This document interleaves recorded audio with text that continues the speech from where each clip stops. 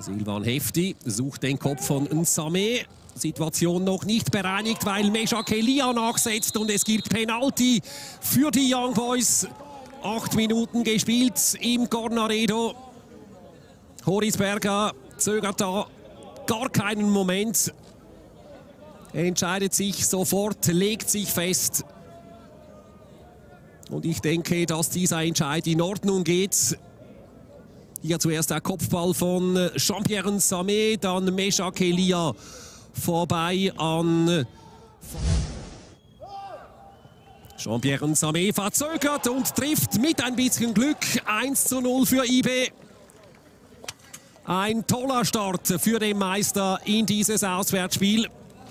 Elfter Saisontreffer für Nsame. Damit zieht er gleich. Meshak Elia. Dann Nsame. Mit dem Ball auf den zweiten Pfosten und da fällt bereits das 2 zu 0. Diesmal ist Meshak Elia selbst erfolgreich. Es sind noch nicht einmal 17 Minuten gespielt und IB schlägt schon wieder zweimal zu. Vierter Saisontreffer für Meshak Elia. Wieder Michael Facchinetti. In der Mitte rutscht ein IB-Verteidiger aus. Es war Cedric Cesiger.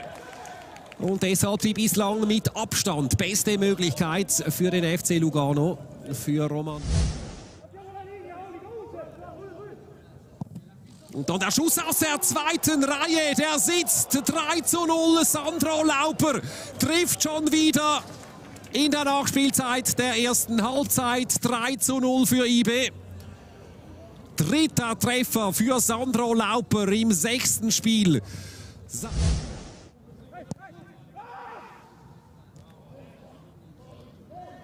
Lovric, gutes Solo, der Schuss auch nicht so schlecht.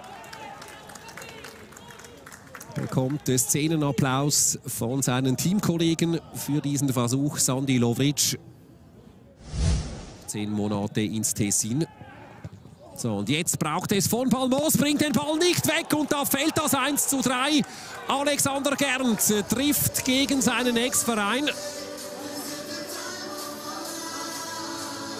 Vielleicht noch einmal ein kleiner Hoffnungsschimmer für die Bianconeri. Vierter Saisontreffer in seinem 21. Superliga-Einsatz insgesamt.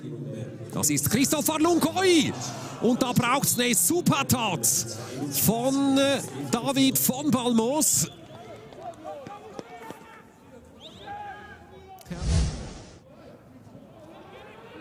Völlig leichtfertig dieser Ballverlust. Meshak Elia mit dem Kopfball. Noah Baumann ist zur Stelle, kann den Ball zwar nicht festhalten. Suleimani beim Corner. Und da müsste eigentlich das 4 zu 1 fallen durch Mohamed Ali Kamara. Der wohl selbst ein bisschen... Das ist Jordan Sibacö. Überragend die Parade von Noam Baumann, der den Ball an die Querlatte lenkt. Also sie sündigen jetzt.